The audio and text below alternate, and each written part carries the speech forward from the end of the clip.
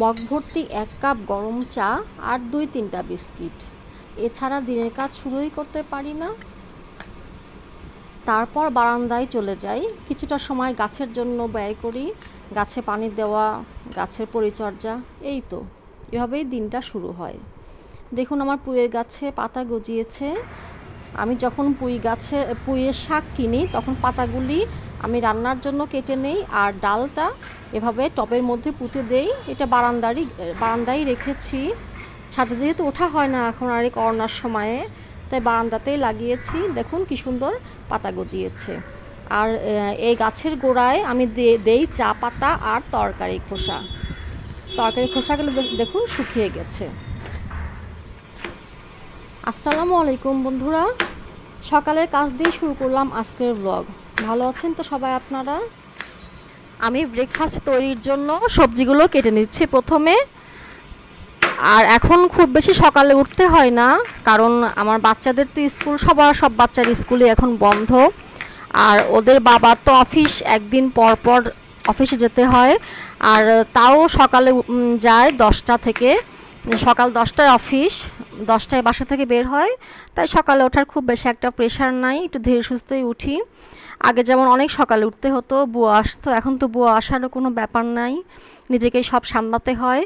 তো আমি সবজিটা কেটে আমি হালকা সিদ্ধ করতে দিয়েছি, আর তারপর রুটিটা বেলে ফেলছি। আমি রুটি বানিয়ে আমার হাজব্যান্ড খেয়ে যায়, আর কিছু নিয়ে যায় লাঞ্চের জন্য। লাঞ্চ ঠিক না একটা দিয়ে খেয়ে নেয়, বাসায় এসে আবার লাঞ্চ করে। চারটা পর্যন্ত যেহেতু অফিস এসে আবার লাঞ্চটা করে নেয়। আর আমি দেখুন রুটিটা ছেঁকে নিচ্ছি, আর ডিমটা ভাজি করব, আর সবজিটা করব। আমি আজকে যে সবজিটা দেখাবো, সবজিটা আপনারা বাসায় করে দেখবেন, অনেক মজা লাগে সবজি। তবে আমি কিন্তু প্রতিদিন একই রকম সবজি করি না এক এক দিন এক রকম করার চেষ্টা করি। আর হচ্ছে, আমি কিন্তু সবজিটা আগে হালকা সিদ্ধ করে নিয়েছি তারপরে আমি এটাকে তেলে দিব। আমি কয়েক রকম সবজি নিয়েছি, আর আমি দেখুন তেলের মধ্যে তেজপাতা আর শুকনা মরিচ নিয়েছি। এরপর পাঁচফোড়ন দিয়েছি, একটু ভাজা হলে পাঁচফোড়নের সেন্টটা যখন আমি নাকে আসবে তখন আমি সবজিগুলো দিয়ে দিলাম। এরপর সবজিগুলি কিন্তু আমি এখনও পেঁয়াজ দিইনি, পেঁয়াজটা একটু পরে দিব। একটু কষিয়ে নিয়ে এখন আমি গুঁড়া মশলা দিচ্ছি পরিমাণ মতো। তারপর দিব আদা, রসুন বাটা, দুইটা মিলে এক চামিচ। আর আমি হালকা সিদ্ধ করে নিয়েছি সবজি, যেহেতু এখন বেশেরটা তেলের উপর নাড়তে হবে না। আপনারা জানেন তো, সবজি তেলের উপর বেশি নাড়লে কিন্তু এর পুষ্টিগুণটা নষ্ট হয়ে যায়। তাই আমি সেভেন্টি পার্সেন্ট সিদ্ধ আগেই করে নিয়েছি, বাকিটা এখন তেলের উপর নাড়তে নাড়তে সিদ্ধ হয়ে যাবে। দেখুন, আমি এখন পেঁয়াজ দিয়ে দিচ্ছি।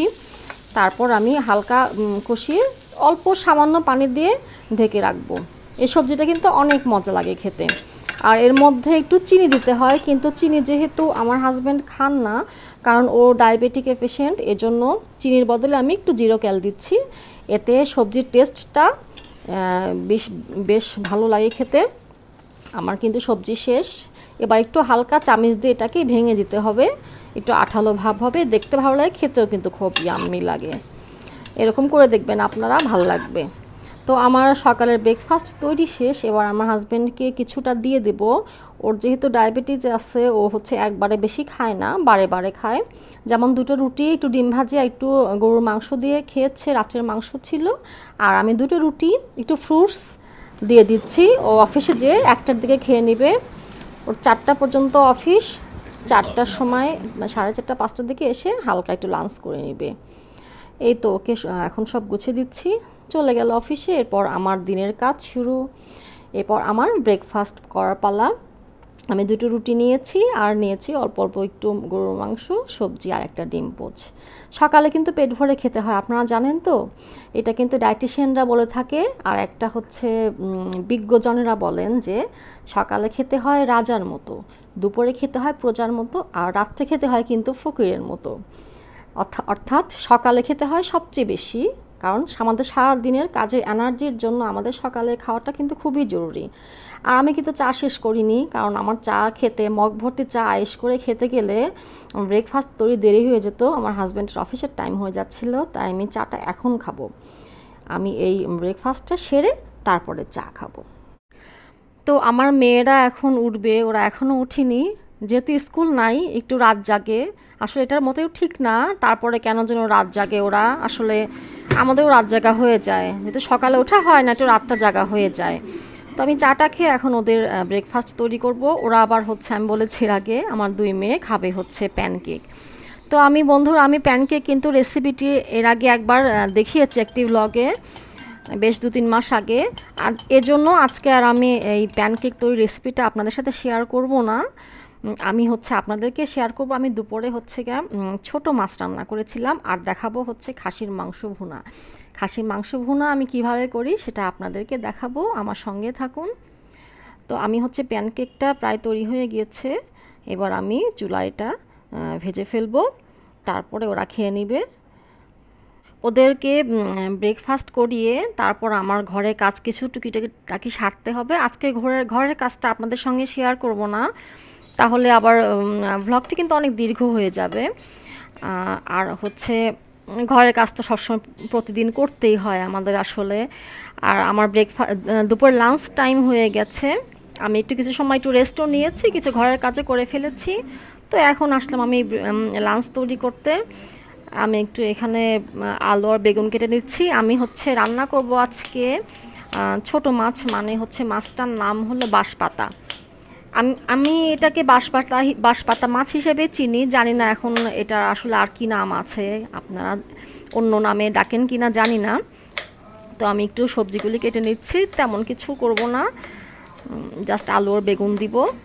আর মাছটা আমি অল্পই রান্না করব, কারণ আমি আর আমার হাজব্যান্ড খাব, আর আমার মেয়ে দুইটা তো ছোট মাছ খায় ওরা অবশ্য, কিন্তু আজকে ওরা আবার পোলাও খাবে দুপুরে, কারণ কালকের কিছু পোলাও আছে, কোরমা আছে ওর এটা ওরা দুপুরে খাবে, যার জন্য মাছটা অল্পই করব, তাই আমার সবজিটাও অল্পই লাগবে। তো আমি চুলায় তেল দিয়ে দিয়েছি। পেঁয়াজ আর তেল দিয়ে তারপর আমি একে একে সব মশলা দিব। আর এটা করার পর আমি দেখাবো আপনাদের খাসির মাংস ভুনা। খাসি, আসলে রান্না তো ছোট মাছ, খাসির মাংস সবাই রান্না করতে পারেন, তাই না? গৃহিণী যারা সবাই পারেন, কিন্তু যারা নতুন গৃহিণী বা নতুন রান্না শিখছেন কিংবা হচ্ছে ব্যাচেলার যে ভাইরা আছেন, তাদের একটু হলেও হয়তো বা কাজে লাগতে পারে। যদি কারও এতটুকু কাজে লাগে আমার এই ব্লগটা শেয়ার করার জন্য, তাদের যদি এতটুকু উপকার হয়, এতে আমি ধন্য। তো দেখুন, আমি এখানে বাটা মশলা দিয়েছি, লবণ, এই গরম তেলের উপর কিন্তু একটু লবণ দিয়ে তারপর বাটা মশলা দিতে হয় না হলে কিন্তু তেলটা ছিটে হাতে লাগতে পারে, চুলাও নষ্ট হবে। তারপর আমি গুঁড়া মশলা দিয়ে একটু পানি দিয়ে তারপর আমি তরকারিগুলো দিয়ে দিচ্ছি। তরকারিটা কষানো হলে তারপর আমি মাছটা আমি আগে ধুয়ে রেখেছি। মাছটা দিব আর একটু ধনে পাতা দিব।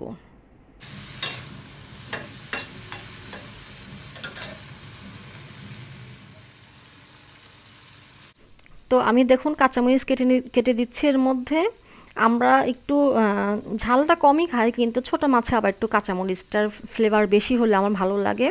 ছোট মাছে একটু ঝাল, গুঁড়া মরিচে ঝাল কম দেয়, কিন্তু কাঁচামরিচটা একটু বেশি দেয় আর হচ্ছে এই তো, কষানো প্রায় হয়ে গেছে। এবার মাছটা দিয়ে আর কিছুক্ষণ চুলায় উপর রেখে ঝোল দিয়ে ফেলব। আর একটু ধনে পাতা দিব। আমার ছোট মাছের ধনে পাতা খুবই ভালো লাগে। এটি, মাছটা দেখুন আমি ভালো করে কেটে ধুয়ে রেখেছি। এবার আমি এটা দিয়ে দিচ্ছি চুলার মধ্যে। আর আমার কিন্তু সবজি কষানো প্রায় অনেকখানি এইটটি পারসেন্ট সিদ্ধ হয়ে গেছে। মাছটা দিয়ে আমি ঝোল দিয়ে দেবো আর পরে ধনে পাতা দিব। তো আমি হচ্ছে আজকে এই মাছের সঙ্গে আমি হলো ভাতে ভর্তা করব হচ্ছে করলা ভর্তা। আপনারা কেউ করলা ভর্তা খান কিনা জানি না, কিন্তু আমরা কিন্তু বেশ খাই। আমি এবং আমার হাজব্যান্ড দুজনে খুব পছন্দ করি আমরা করলা ভর্তা। দুপুর টাইমে প্রায়ই আমরা করলা ভর্তা করি। তো আমি আমি কিন্তু ভাত প্রেশার কুকারে বেশিরভাগ রান্না করি। এটা আমার কাছে খুব ইজি মনে হয়। একদম পরিশ্রম নাই। শুধু জাস্ট পানির মতো মেপে, পানির পরিমাণের পানির পরিমাণটা ঠিক হলেই ব্যাস, ভাত হয়ে গেল। মাছ ঝরাতেও হয় না, কিংবা অন্য ভাত দেখারও কোনো প্রয়োজন নাই। তো আমি আজকে করলা ভর্তা করব। আর এরপর দেখাবো আমি, মাছটা নামানোর পরে আমি দেখাবো হচ্ছে খাসির ভুনা। তো দেখুন, আমার কিন্তু ধনে পাতা দেওয়া হয়ে গেছে। রান্না প্রায় শেষ, একটু মাখো মাখো হলেই আমি নামিয়ে ফেলব। এ তো দেখুন, হয়ে দেখতে অনেক সুন্দর লাগছে না? তো দেখুন, আমি ভাতের মধ্যে দিয়ে দিচ্ছি। এক কোটা চালে ভাত রান্না করছি আমাদের দুজনের জন্য। আর হচ্ছে আমি খাসির মাংসটা দেখুন, এখানে হচ্ছে আড়াই কেজি খাসির মাংস আছে। আর মাংসটা আমি ভালো করে ধুয়ে এর মধ্যে কিন্তু আমি হচ্ছে টমেটো দিয়েছি কেটে আর পেঁয়াজ গ্রাইন্ড পেঁয়াজটা কিন্তু আমি বটিতে কিংবা চাকুতে কাটিনি কিংবা ব্লেন্ডারও করিনি, এটা কিন্তু গ্রাইন্ডারে গ্রাইন্ড করা। আর হচ্ছে টমেটো দিলে হয় কি তরকারি রঙটা এত সুন্দর রঙ আসে এবং মাংসটা খুব সুন্দর খুব তাড়াতাড়ি সিদ্ধ হয়ে যায়। তারপর আদা বাটা, রসুন বাটা দিয়ে দিচ্ছি আর হচ্ছে লবণ এবং গরম মশলা আস্ত গরম মশলা দিব কিছু। আর হচ্ছে মাংস যেহেতু এখানে একটু ঝাল কিন্তু একটু বেশিই লাগে, মরিচের গুঁড়াটা একটু বেশিই লাগে। আর এটাকে কিন্তু আমি দেখুন চুলায় কিন্তু দেইনি, আমি তাকের তাকির উপর রেখে আমি কিন্তু এটা মাখাচ্ছি। এটা মাখানোর পরে আধা ঘণ্টা রেখে দিব, তারপরে আমি এটা কিন্তু চুলায় দিব। আর এটা মাখিয়ে রাখার পরে যখন চুলায় দিব, তখন আমি তেল দেব। তেল কিন্তু আমি আগেই দেইনি। আগে যদি তেল দিই, তাহলে কিন্তু মশলাগুলি কিন্তু মাংসের মধ্যে ঢোকে না, মাংসের মধ্যে ঢোকে না। তাই মাখিয়ে রাখার পরে তেল দিলে ভালো হয় জিনিসটা। তো দেখুন আমি এভাবে খুন্তি দিয়ে নিয়ে নিয়ে মাখাচ্ছি। এরপর তেল দিয়ে দিচ্ছি। আর এই টমেটো দেওয়ার জন্য এত সুন্দর কালার আসে মাংসে, আমি গরুর মাংসেও প্রায় দিয়ে থাকি। কিন্তু খাসি মাংসে আমি অবশ্যই দেই এই টমেটোগুলো। টমেটো আমার কিন্তু ডিপ ফ্রিজের মধ্যে রেখে দিয়েছি। শীতের দিনের, শীতের সময়ে যে কিনতাম তখন আমি রেখে দিয়েছিলাম। তো দেখুন, আমি এখন মাংসগুলি কষাচ্ছি। কালারটা কি সুন্দর একটা কালার এসেছে। দেখতে অনেক ভালো লাগছে। আর এরপর আমি সিদ্ধ, কষানো হয়ে গেলে সিদ্ধ হতে যতটুকু পানি লাগে, অতটুকু আমি গরম পানি দিলে মাংসটা হয়ে যাবে। তো বন্ধুরা, কেমন লাগল আজকের সকাল থেকে এই লাঞ্চ টাইম পর্যন্ত ভ্লগ অবশ্যই কমেন্ট করে জানাবেন আর অবশ্যই একটা লাইক দিবেন। আর যারা এখনও সাবস্ক্রাইব করেননি, তারা অবশ্যই আমার চ্যানেলটাকে সাবস্ক্রাইব করবেন এবং আমার পাশে থাকবেন। আজ তাহলে বন্ধুরা এ পর্যন্তই। কেমন লাগল জানাবেন? আমি কিছু আলু দিয়ে দিয়েছি টুকরো করে। আর আমার রান্না কিন্তু একদম শেষ। এবার লাঞ্চ করার পালা। তো এ পর্যন্তই বন্ধুরা। ভালো থাকুন সবাই সুস্থ থাকুন এবং সবাই সর্বোচ্চ সাবধানে থাকুন। এ দোয়াই করছি। আমাদের জন্য আপনারা দোয়া করবেন। আল্লাহ হাফেজ।